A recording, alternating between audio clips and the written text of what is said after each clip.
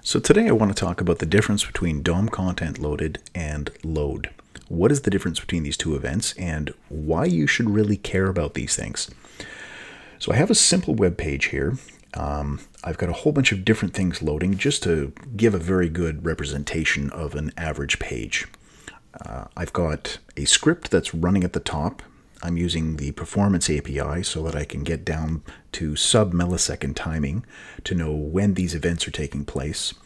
Because uh, I'm going to be writing these out in the console here. You can see that my DOM content loaded event took 67 milliseconds.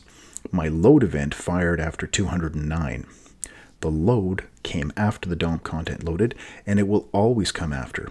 And that's because DOM content loaded cares about the JavaScript here, and it cares about the HTML. The browser gets the HTML, it reads through the HTML, it understands what all the elements are that are there in the DOM, and then DOM content loaded can fire.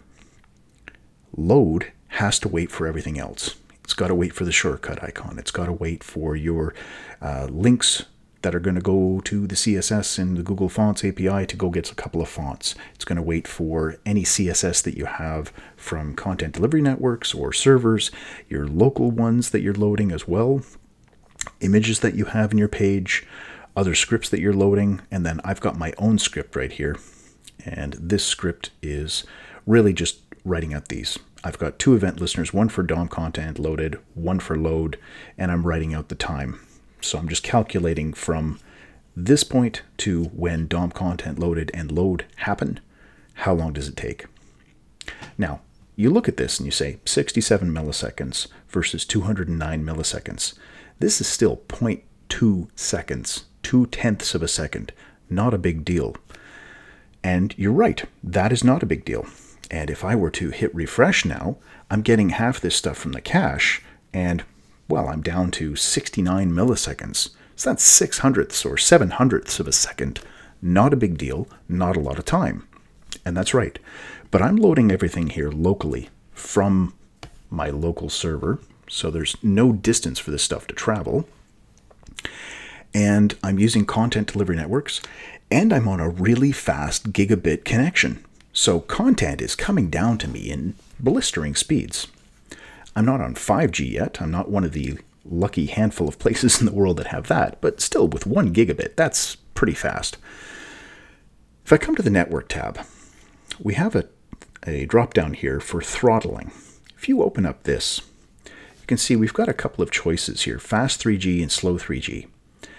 Now, fast 3G is still fairly fast, and a lot of places if they're getting fast 3G on their mobile device, on their phone, on their tablet, they're going to consider that to be good speed. So let's take a look at this page. I'll change it over to fast 3G. We'll come back to our console and let's do it again. Let's empty cache and hard reload and let's see how long it takes.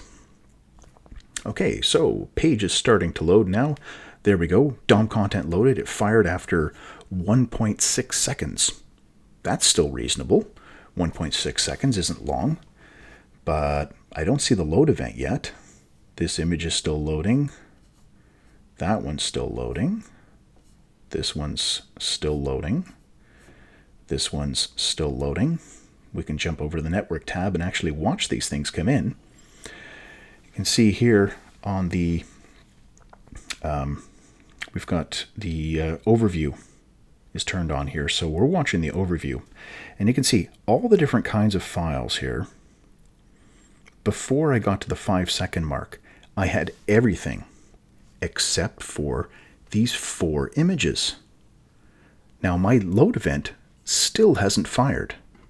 I'm still waiting for these images. And I'm coming up now to 60 seconds there. A full minute has passed. My load event has not fired. Now imagine, okay, I just got the second image. Imagine if you had a script on your page for controlling a button click or a form submit, but it wasn't active and ready to use until you had the load event. So the load event fires, and then you add your click listeners to the button and your submit listeners to your forms. Well, that's a heck of a long time. Here we go. I'm up to almost 90 seconds. So this took an incredibly long time to load all of these images, almost a minute and a half. with my, yeah, there it is, 83.8 seconds. So 84 seconds for the load event. That was 84 seconds where the user couldn't click on anything, they couldn't do anything with your script because you used add event listener load instead of add event listener DOM content loaded. Huge, huge, huge difference as soon as you get off of really fast the LTE speeds or 5G speeds, or you've got one gigabit internet and you're hardwired into something, or you've got Wi Fi with one gigabit. Once you get out of that category where, yeah, okay, there's a fair number of people using that, but there's a lot more people who don't have those kinds of speeds. So, this is why you want to use DOM content loaded instead of load event because it changes when scripts fire and it can make a huge difference to the usability of your page. So I hope that helps you out. I hope that makes sense. If you have any questions, please feel free to leave them in the comments down below. If you start playing around with this, I do hope that you go into the network tab and try and make this a regular habit. Test your pages with the throttling turned down to at least fast 3G to see what effect it has on your pages. See how long people are waiting. If you get stuff like this, well, maybe you can optimize your images. Maybe you can see what are the big things on your page that are slowing everything down and try to improve on those speeds. You'll be happier, Google will be happier, your end users will be happier. All right, so as always, thanks for watching.